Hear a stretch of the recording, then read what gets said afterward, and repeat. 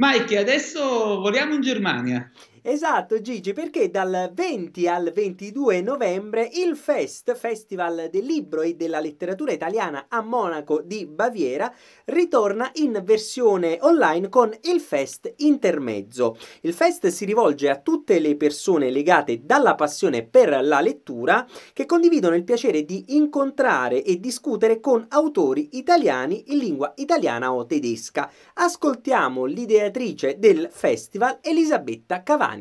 Buongiorno Mike, buongiorno, buonasera a tutti gli ascoltatori,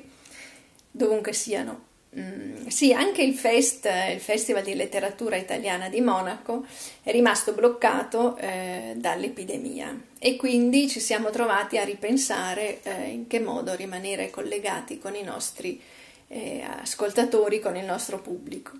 Abbiamo quindi cominciato già in agosto una serie di video interviste che si possono vedere su Facebook e sul canale YouTube di Il Fest München con autori, autrici, con traduttori, traduttrici e altre persone legate al mondo dell'editoria, proprio per mantenere vivo il contatto con il nostro pubblico e anche per mettere in luce certi aspetti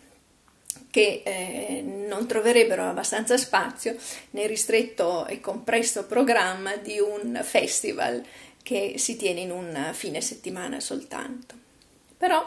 quando poi è stato chiaro che neppure in autunno era pensabile riproporre dal vivo eh, il festival, eh, ma che soltanto ci auguriamo nell'estate del 2021 se sarà possibile di nuovo, allora abbiamo deciso di fare un intermezzo e così l'abbiamo chiamato, il Fest Intermezzo, una versione online del festival che si terrà dal 20 al 22 di novembre online.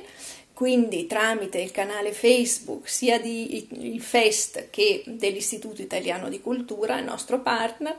che eh, su Zoom per chi vuole anche la traduzione simultanea in tedesco eh, e questo iscrivendosi eh, tramite il sito dell'Istituto Italiano di Cultura di Monaco.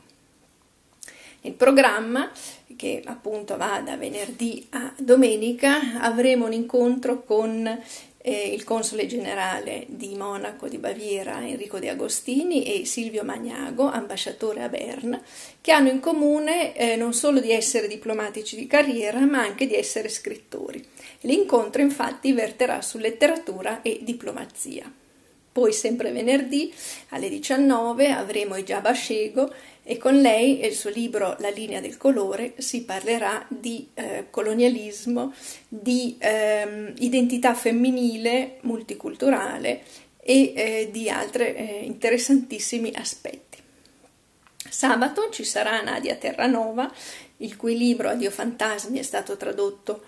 queste, prima dell'estate in tedesco e chiuderemo domenica con Andrea Trabbia, Madrigale senza suono, eh, Premio Campiello 2019 su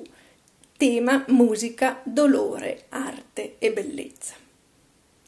Sarà comunque un programma molto interessante a cui vi invito a seguire, a partecipare, perché eh, in questi giorni, in questi tempi proprio di nuova chiusura, eh, la letteratura e la cultura in generale hanno un ruolo importantissimo e quindi mh, per evitare di appiattirci semplicemente nella quotidianità che è difficile e, e, pesante e per prendere una boccata di respiro, per mantenere la, eh, la possibilità, la capacità di immaginare percorsi diversi, soluzioni diverse e eh, magari guardando ad altre epoche o altri destini. La letteratura serve,